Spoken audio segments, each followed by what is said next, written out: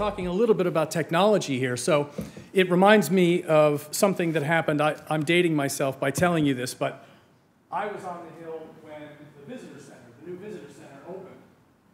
And we were moving, we have a SCIF space, and we were moving from one SCIF space down to our new uh, offices in the Capitol Visitor Center.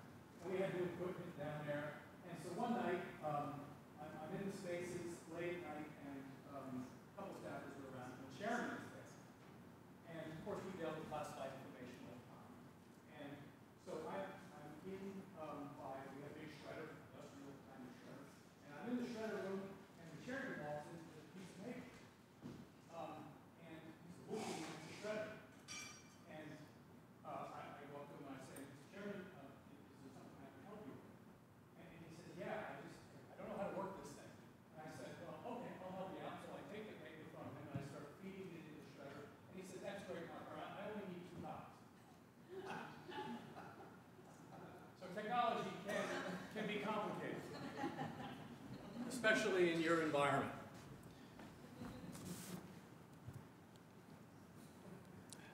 Got to get back to the presentation here.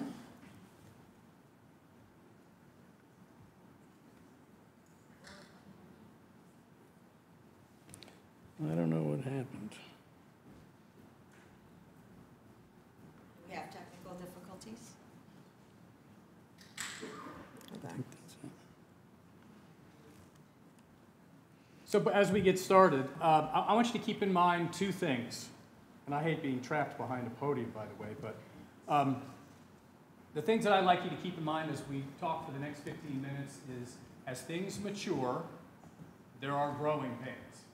I challenge anybody to tell me something of which that is not true. People, technology, organizations. So keep that in the back of your noodle. Um, and the second thing is that discovery is irrevocable. We have this need to progress and to make things better. Um, so once you discover something, that's it. We cannot put the genie back in the bottle. So as all technologies mature, um, there's a couple things that happen with all of them about the growing phase. One, there are initial limitations, um, features, for example, with tech, um, and usability. Uh, anybody, any developers in the room? So you understand, sometimes you're focused more on functionality than on usability. So um, sometimes that's a problem, but as they mature, as those growing pains subside, you get better usability. You guys broke this. I'll get it fixed. There's a scalability problem. Uh, obviously, the more people use it, the more it's got to be able to scale uh, accordingly. Interoperability with existing technologies. Um, cost reduction. The more it's used, the more drive those costs down, so it's not as expensive for each of the people uh, get the benefits. And of course, we kind of talked a lot about this today. Education. People don't know how to use it. You got to show them what the benefit is. So we, we've seen this. Think about um, think about when the internet first came around, we had usability issues, we had the same growing pains with the internet. Um, and then mobile phones, remember, remember the movies with the very big bricks, we were talking about battery life? You had like, um, we talked about all day batteries today with smartphones. Back in the day, we were like, hey, I can get two phone calls with this battery. And then it's dead. So, um, perfect, that's the right slide, thank you very much. So if you can read this in the eye chart in the back of the room, we have growing pains too. Um, and just take a, take a look at those growing pains. But these growing pains are common, they're necessary, and of course they drive innovation in and of themselves. And discovery is irrevocable. The, um, there, there's been controversies around cryptocurrency, but note those controversies and a couple of statistics. So in October, the assets, assets under management for digital asset products grew by six and a half percent, more than six and a half percent, to a total of thirty-one point seven billion dollars. The average daily aggregate volumes of digital asset investment, that's grown by almost 45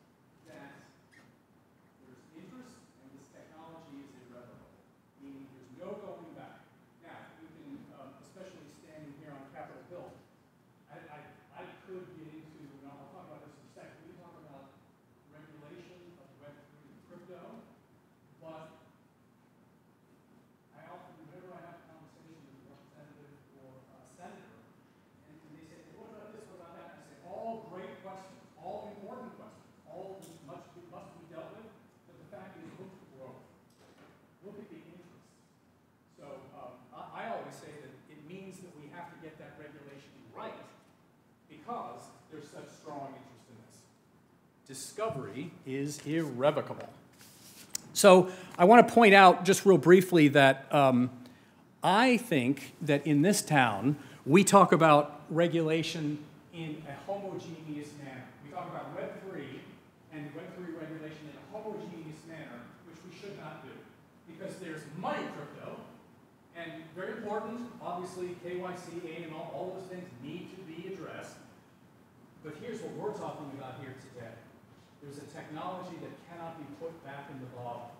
And that's what we should be talking about more than the crypto. Think the crypto applications are important, and I mean, obviously, I'm, I'm, uh, I work for a company that we have the world's most popular digital wallet, MetaMask, so it's critical. But when it comes to regulation, regulate the finance in, with one mindset, regulate the technology with another.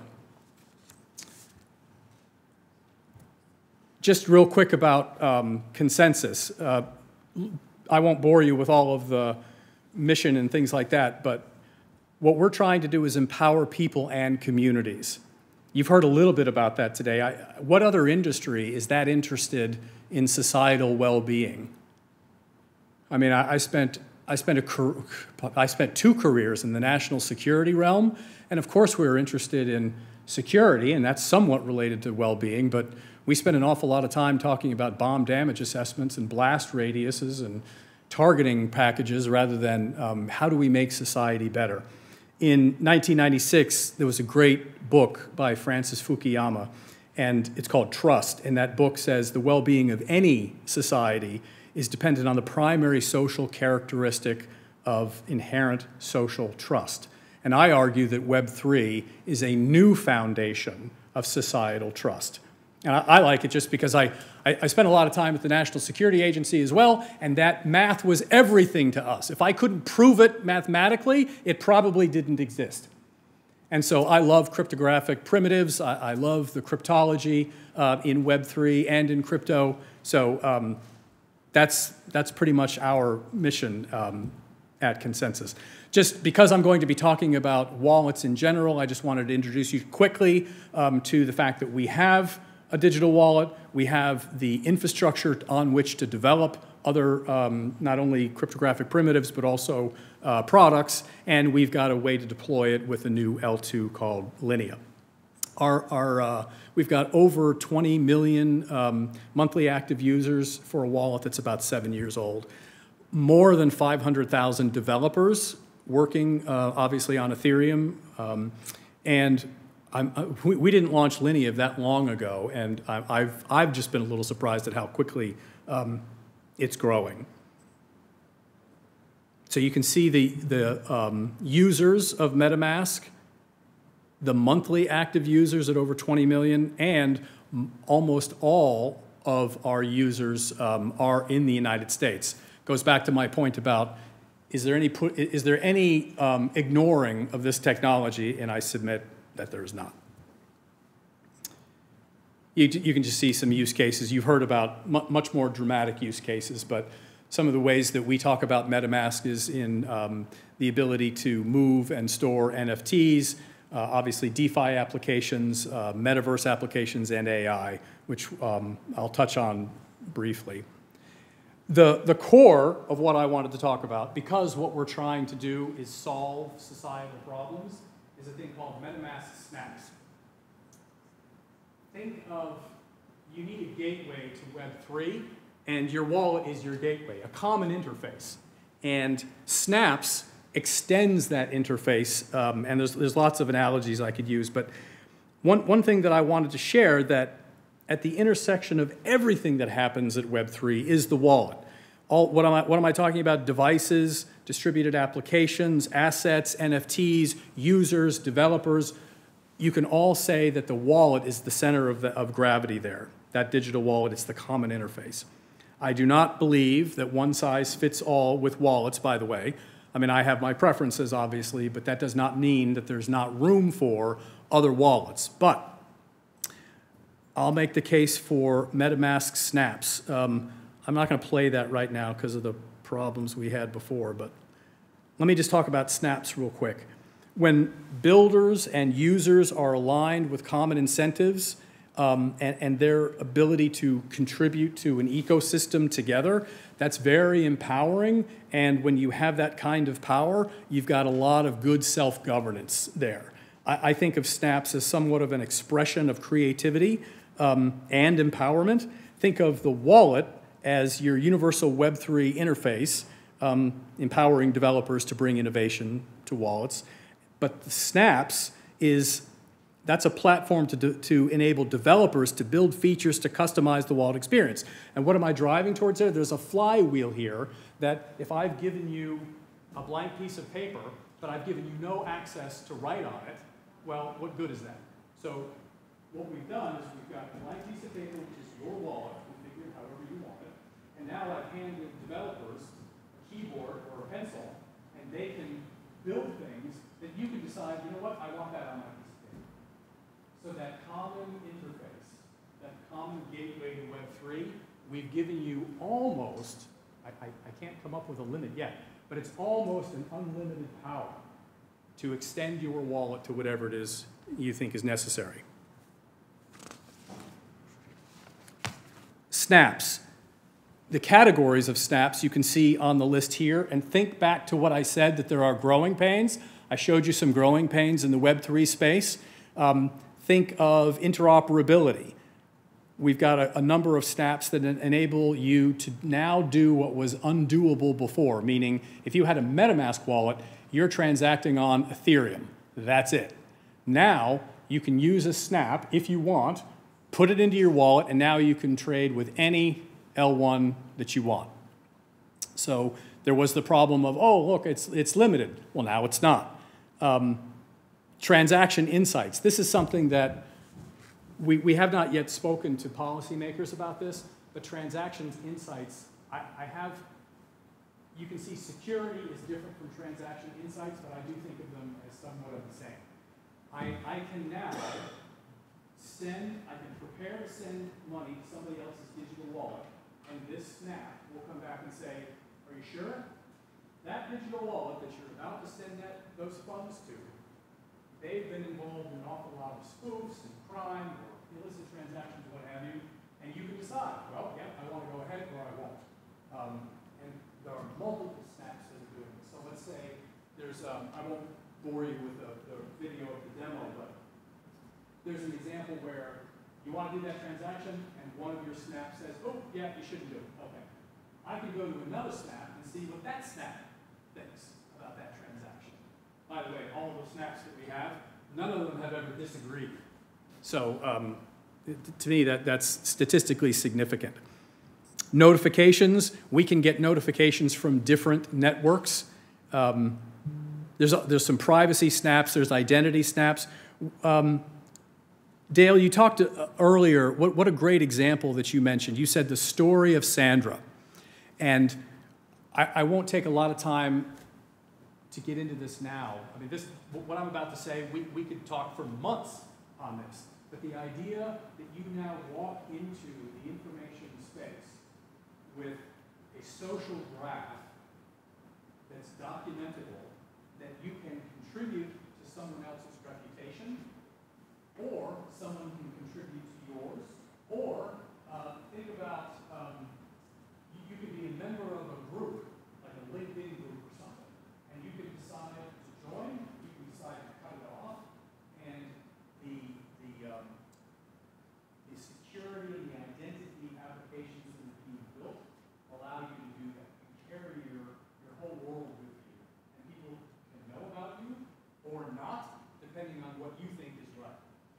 I do think, I mean, I, I've bought into the entire Web3 idea that now an intermediary doesn't get to control my data, I get to control my data.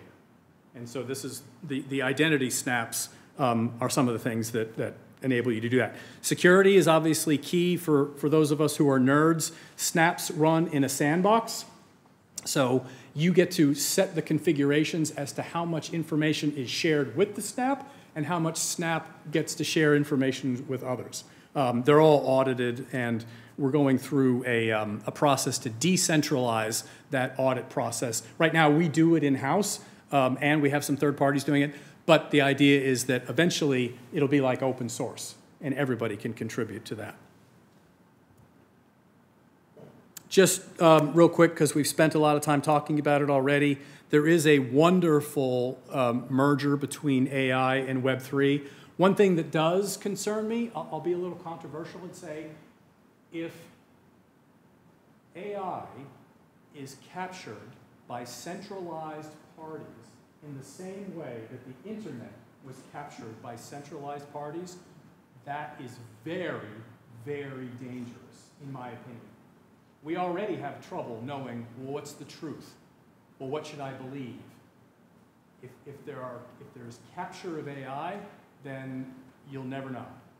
You'll never know. So I think that the, the, the merger between AI and, and um, decentralized protocols is critical. We need to make sure that no centralized areas of AI exist.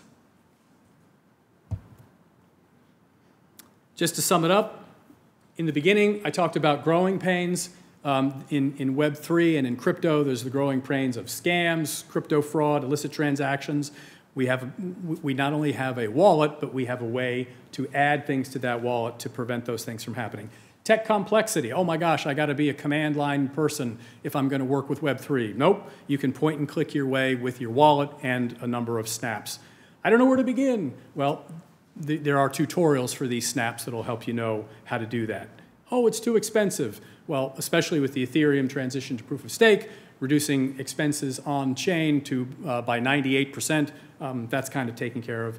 And um, oh, this isn't really innovative. It's kind of the same thing as Web 2 when you look at the uh, identity snap and what I talked about, taking your entire persona or personas with you, um, that's, that, that's taken care of too. All things mature, there are growing pains, and discovery is irrevocable. We all have that need to move forward in this space. Thank you.